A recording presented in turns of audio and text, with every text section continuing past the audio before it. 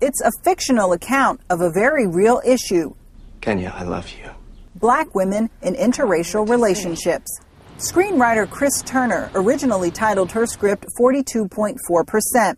At the time, the percentage of black women who had never been married.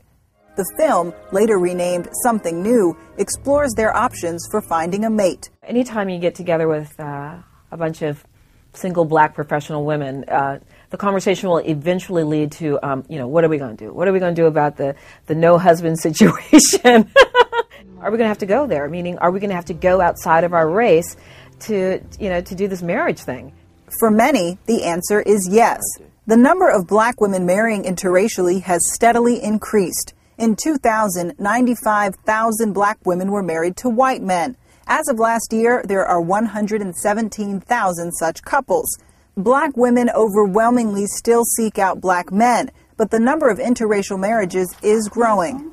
Greg Zenin and Jaquetta Zathmari just joined the ranks. We had our wedding in Central Park. The newlyweds met in 2004 when Jaquetta posted an ad on Craigslist specifically looking for a white man. I've always dated white guys. Those are the type of guys that always approached me, and I guess I was comfortable with that. That comfort zone is getting crowded.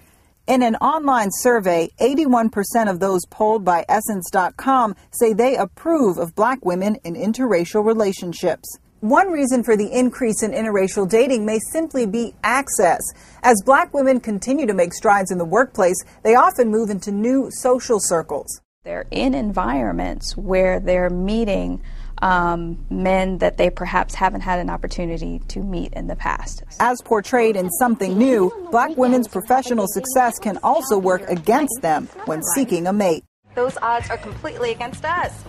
Some say they have a hard time meeting black men who can match their professional accomplishments. That imbalance is foreshadowed in the classroom, where 64% of black college students are women.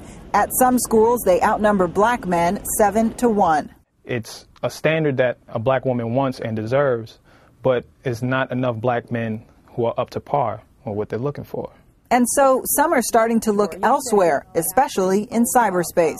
I think what broadened my horizons was internet dating. The online world is full of interracial dating resources. There are blogs like Date a White Guy and White Men Who Prefer Black Women and dating sites like interracialmatch.com. But while there may be growing acceptance of interracial dating, there is also still some resistance. People in our communities will kind of put their hands on us and say, What are you doing? How do you respond to people in the black community who would say you're a sellout? Unless you're going to find me somebody that wants to go out with me, then please don't judge me. The idea that you would choose someone just because of the color of their skin is as offensive as, you know, avoiding someone for the same reason. For Jaquetta, her decision to date interracially has led to happiness and love, a Hollywood ending, just like in the movies. I love you. Mara Schiavocampo, NBC News, New York.